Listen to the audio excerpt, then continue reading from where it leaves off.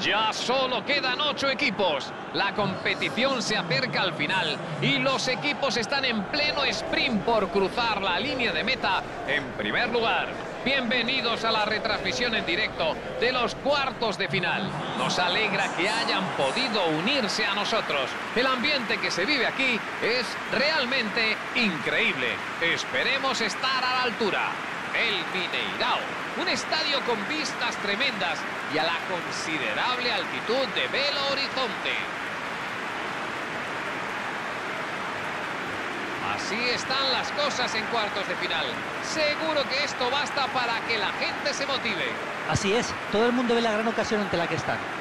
¿Cómo iba a ser de otra forma? Es que todos los equipos que han llegado hasta aquí tienen un mérito tremendo, ¿eh? Han respondido cuando ha hecho falta y han dado muestras de su gran juego durante su progreso a lo largo de las fases. Se espera un gran partido para los aficionados neutrales, cargadito de momentos especiales, seguro.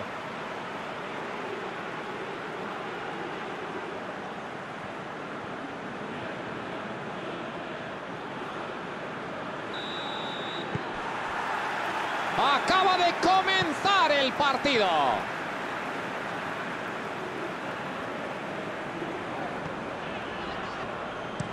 Cambia el juego a la otra banda.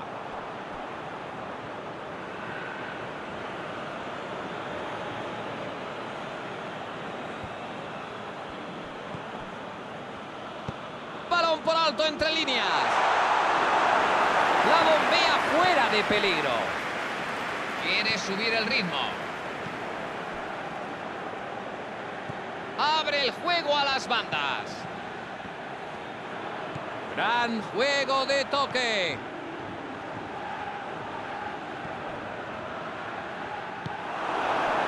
Guiñac.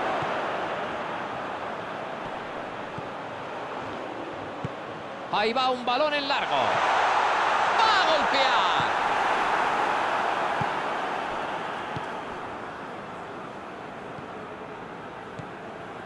Ninguno de los dos equipos se muestra muy expeditivo en los primeros compases. Corre con el balón por la derecha. Veamos lo que hace con él. Y aquí sale el centro. ¡Arriba! ¡Y cabezazo! El remate sale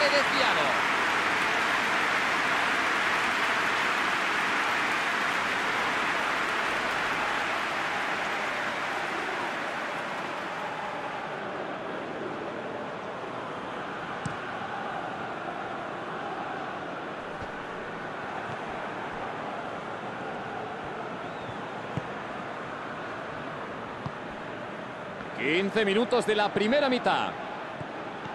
Por el momento, seguimos a dos velas. ¡Ahí busca hacer daño! Debe colgar el balón al área.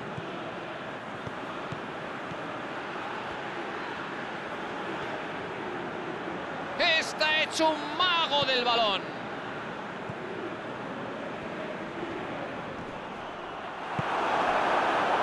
Guiñac. Fernández.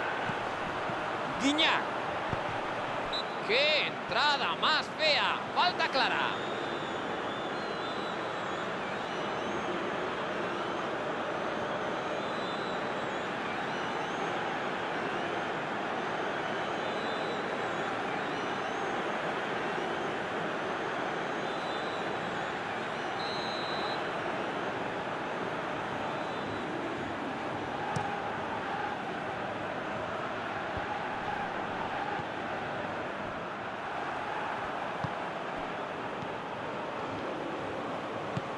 Y vuelven a iniciar la jugada desde atrás. Reyes. Decide mandarla hacia adelante. Balón en largo. Se hace con ella. Se lanza expeditivo. ¡Allá va el centro!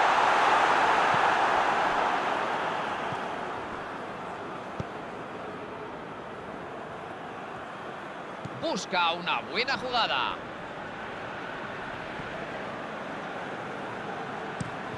Balón para arriba. Ese balón en largo tiene dueño. Una lección de juego combinativo. Nos acercamos al Ecuador y seguimos sin goles. Tienen muy pocas opciones y juega de espaldas a la portería. La defensa ha estado muy bien. Abre el campo.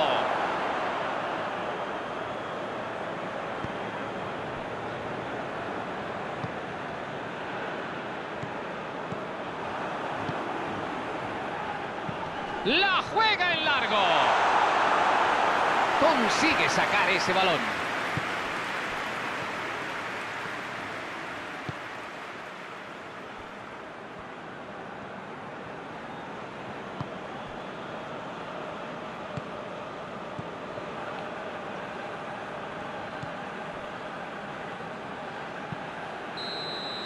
Y llegamos al final de la primera parte. Esta parte va a dar mucho que hablar en el descanso con el cuerpo técnico. Un partido sin goles, pero muy táctico. Bueno, han jugado un mal partido, en especial los puntas. Un equipo demasiado defensivo, yo creo que no ha creado juego y que ni siquiera ha tirado entre los palos. Ninguno de los dos equipos ha marcado 0 a 0. A ver si nos divertimos más en la segunda mitad.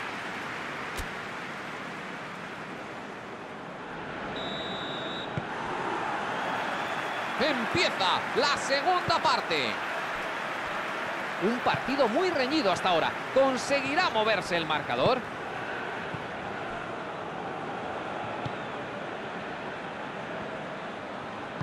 Cambia el juego a la izquierda.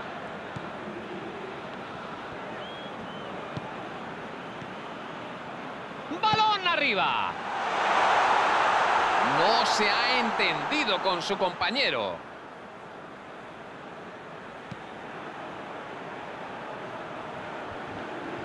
Pizarro. ¡Qué buen corte! Justo, justo lo que necesitaban. Busca una buena jugada. La manda arriba. Me parece que es la primera vez en el partido que intentan un pase largo por el centro para romper la defensa. Es que hasta ahora solo había habido juego por las bandas. La recibe. Y la juega hacia la izquierda. Busca una buena jugada. La cuelga, salta para rematar. Se va fuera y se acaba el peligro.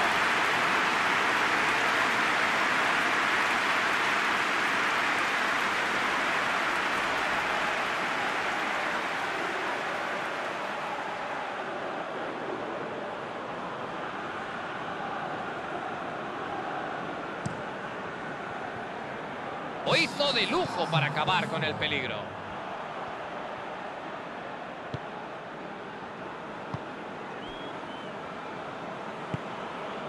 Guiñac.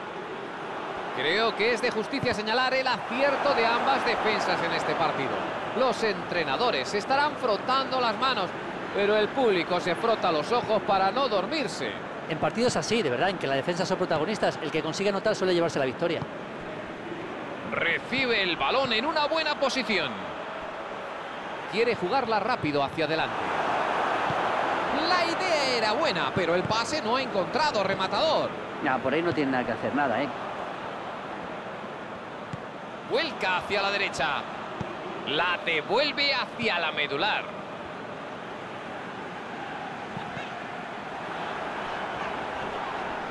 Y pita la falta.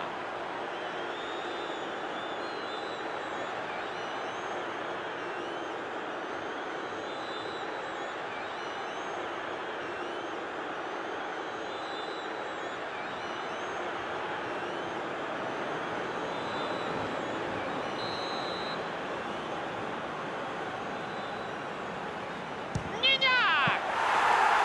Una parada de mucho mérito. El disparo ha sido bueno, pero es una de esas paradas en las que no cabe más que felicitar al portero. Busca una buena jugada. Lee Kyung-ho.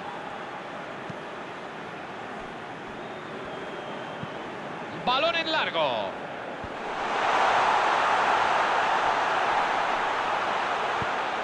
Creo que se merecen más. Se nota que están intentándolo por todos los medios. Gran trabajo por su parte.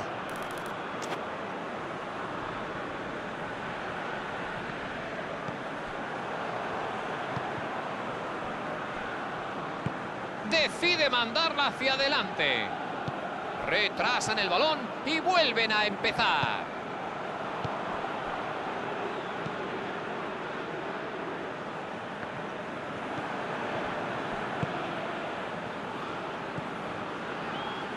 Busca una buena jugada. Lee Kyung-ho. Esto ya no da para mucho más. Si no hay sorpresas de última hora, vamos a ir a la prórroga. Recibe el balón. A ver qué inventa ahora. Gran jugada, ¿eh? pero apenas hay tiempo ya, una pena.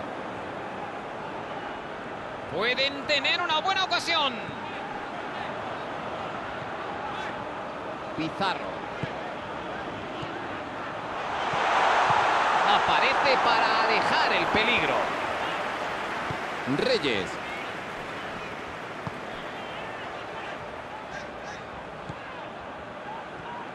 Muy bien aprovechada esa banda derecha. ¿En qué acabará esto? Y la cuelga. Y llega tiempo para despejar. Todo sigue igual después de los primeros 90 minutos. Así que nos vamos al tiempo extra. No han faltado ganas de victoria, la verdad, ¿eh? pero no lo han conseguido porque ambas defensas han hecho un trabajo perfecto y han estado muy atentas a las llegadas y ocasiones del rival. ¿eh? Todo igualado aquí después de 90 minutos, así que vamos a la prórroga. La gente deseosa de que alguien rompa la igualada.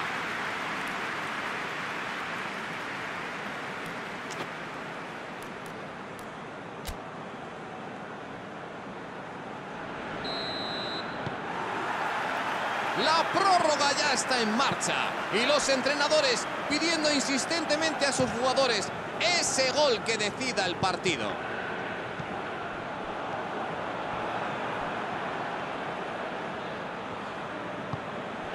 Por retrasar esa pelota.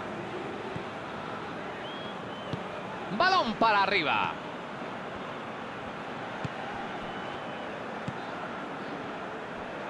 Pasa al hueco. Balón derecho. Se le va buscando el remate.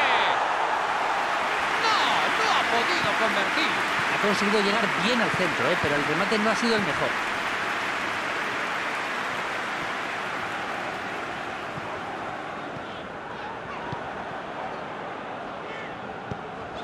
Cuero a la banda.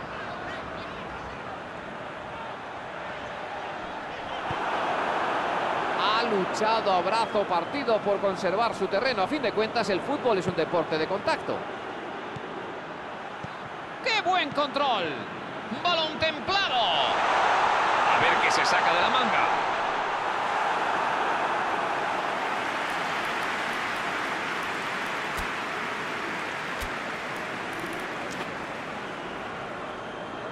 El partido se va a reanudar tras el cambio.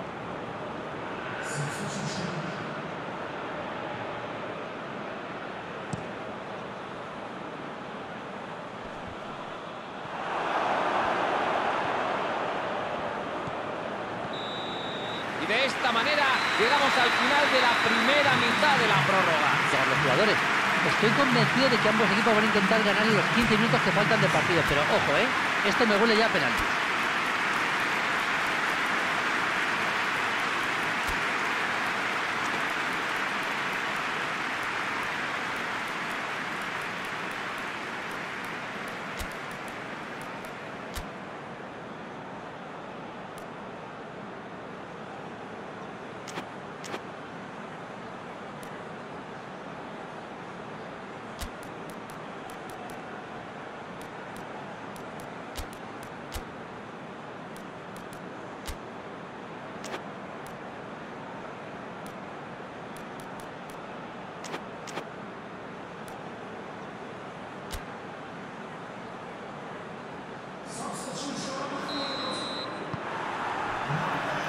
El cartucho. Solo un cuarto de hora más para ver quién tiene más fuerza y quién aguanta mejor la presión. La suerte hará el resto. Veremos si alguno de los dos equipos encuentra la red rival en estos 15 minutos. ¡Balón arriba!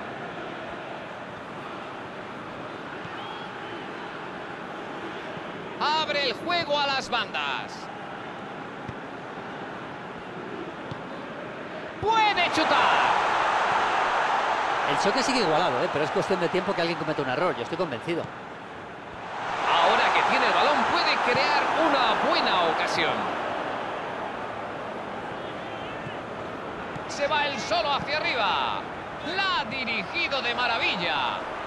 La falta ha sido clara. El árbitro decide no sancionarlo con cartulina. Lo podría haber hecho perfectamente.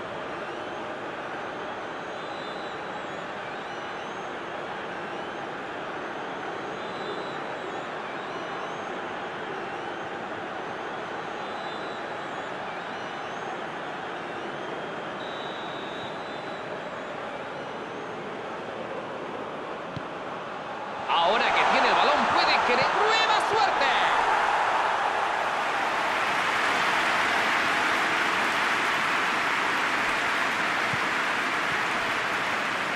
Estamos en los últimos compases del partido. Tienen que darse prisa ya.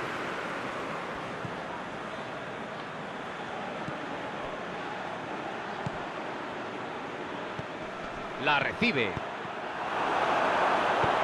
Despeja como puede. Suena el pitido final y no se ha roto la igualdad en el marcador. Todo se va a decidir desde los 11 metros. Bueno, 120 minutos de fútbol no han bastado para marcar un gol, pero la verdad es que los defensas han estado magníficos y han rechazado todos los balones que les han enviado los delanteros. Ningún equipo ha sido capaz de definir el partido durante el tiempo extra. Toca penaltis y la suerte juega su papel.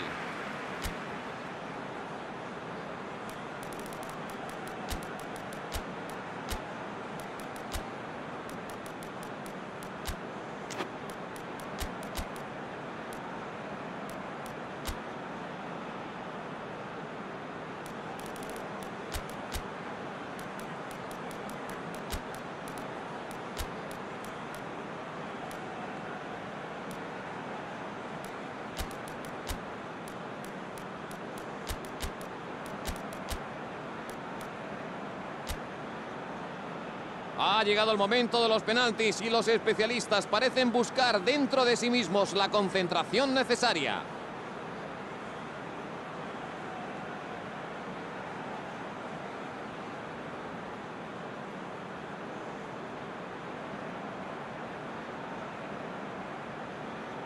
Es fundamental marcar este penalti para ponerse por delante.